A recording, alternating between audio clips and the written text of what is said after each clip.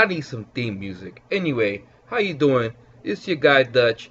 Here I am, week four, GZB fantasy football predictions. First of all, let's start off with the Northern Authority versus the Cactus Killers. Now, uh, with the Northern Authority in sole possession of the number one spot, the bullseye has moved north of the border. Yes, that's right. It is aimed squarely at Colonel Karma and his Northern Authority, aka the Out for a Rip Boys. That's what we're gonna call them, or the bunch of dirty bird dirt. You know, the bunch of dirty dirt squirrels. Karma knows about that. Anyhow, uh, now, um. facing him, he's uh, facing Karma. He's playing against this week the Cactus Killers, and uh, Coach Joe has the offensive powerhouse known as Megatron. He'll be coming, making his appearance, and uh, so it looks like he's trying to make a rebound from last week. Now, personally, um, I would like to see. Uh, well, here's my prediction. My prediction is uh, Team Cactus rebounds from last week's loss and utterly destroy Colonel Karma and his band of dirty dirt squirrels. Love you, Karma.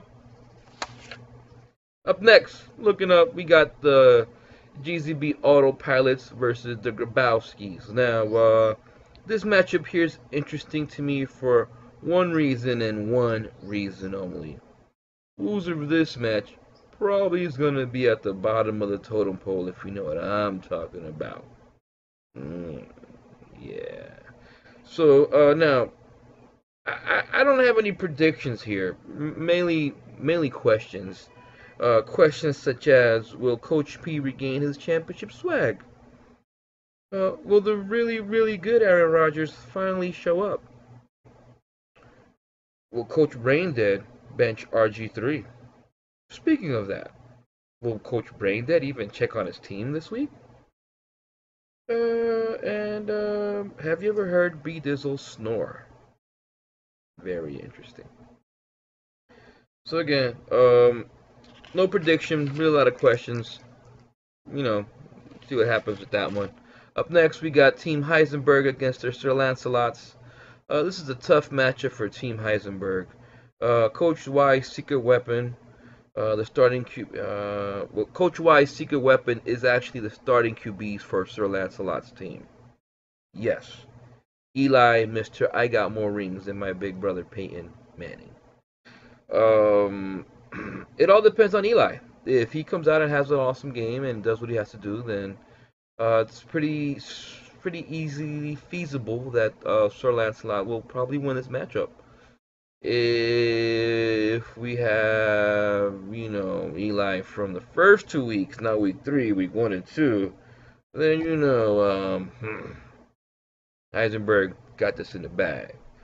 Um, you know, my prediction, honestly, I've been burned by Eli in the past, having him on my fantasy team. Can't depend on him. I'm going to go with Team Heisenberg. And now we have uh, the Golf Grenadiers versus these nuts. Now, um, privately over Twitter, uh, Coach T DM'd me and told me that this game will be bittersweet for him as he enjoys the Misa. You know, he's not sure what to do here. He loves the Misa, even though he's heavily favored to win over Coach Chismo and his nuts. However, uh, after last week's win, uh, Coach Chismo has the momentum uh, to go ahead and knock Coach T off his perch right now. Uh, now, it can happen, it might not. Do things have happened?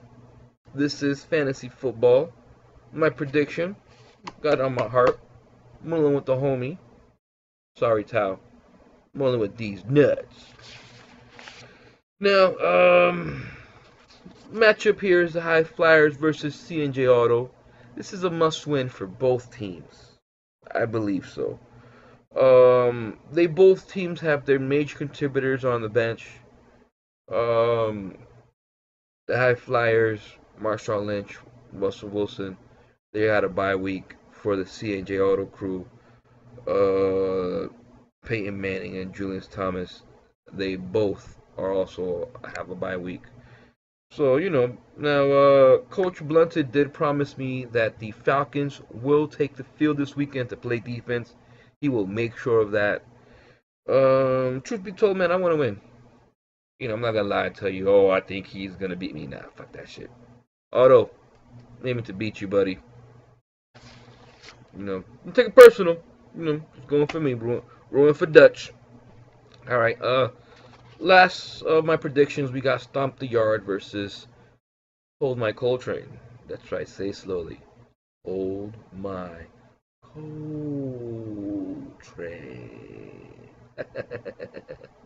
so yeah.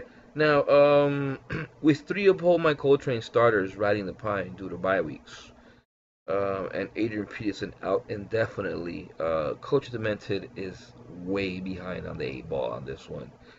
Um, you know, Senor Stomp is trying to rebound from last week's shellacking at the hands of this guy right here. yeah. Uh, so he's trying to come back from that, and, and he's primed to go two and two after week four, and uh, he's trying to you know go into week five above at 500 ever hold my Coltrane, you know, um, he does.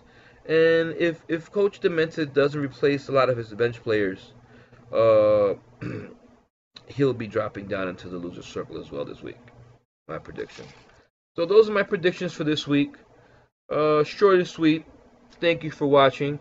I promise soon, somehow, I will get theme music. All right. Dutch out. Peace. See you later.